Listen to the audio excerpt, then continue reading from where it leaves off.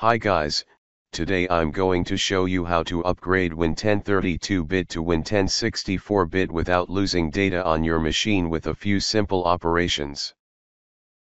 If a computer can upgrade to a 64-bit version, its configuration must meet the following requirements, the system type must be an x64 based processor.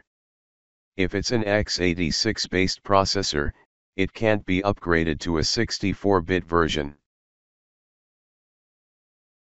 My computer is currently using a 32-bit x64 based processor and here's how to lift the cable to a 64-bit. First, you download the ISO Win 1064-bit file and the Winto HDD software to the machine, I left them in the description. After downloading the machine, you save it to some other folder on the C drive, because when upgrading will occur on the C drive, the data on the C drive should be transferred to another drive.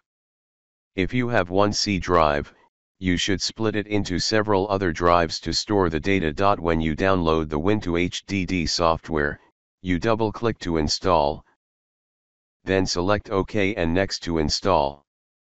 After the installation, you open the software Winto HDD up, then select Reinstall Windows. Click on the square of the folder box to add the ISO Win 1064-bit file. Note that the ISO file must be saved to another folder on the C drive to install, I saved it on the F drive. After you add the ISO file, you choose the Windows version to install.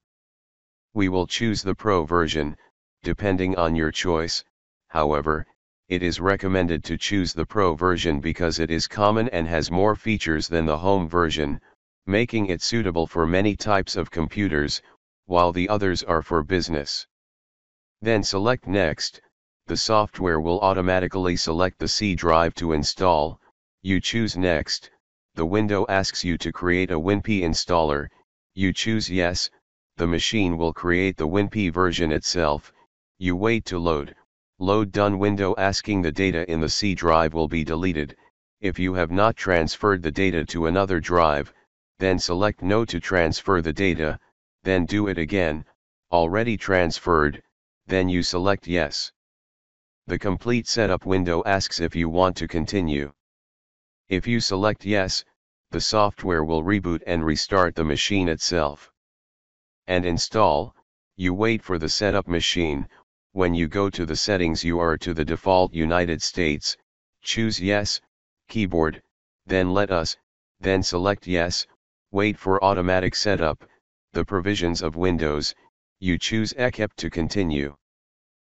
Then select setup personal use, select next, fill in any Microsoft account you have and no account, select offline account, then select limited experience. Here you fill in the name of your computer and then select next.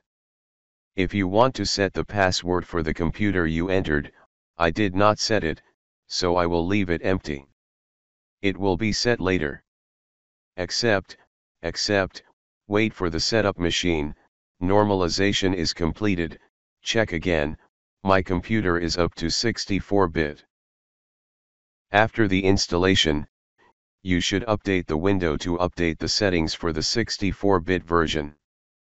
You go to the settings, to update and security, then select check for update, wait for the test and update, and the update will be over quickly. After the update, the machine will call restart, depending on whether you want to restart now or let it happen later. So I've taught you how to upgrade from Windows 10 32-bit to Windows 10 64-bit. If you see or like it, share and subscribe to see more videos. Hello, and see you again.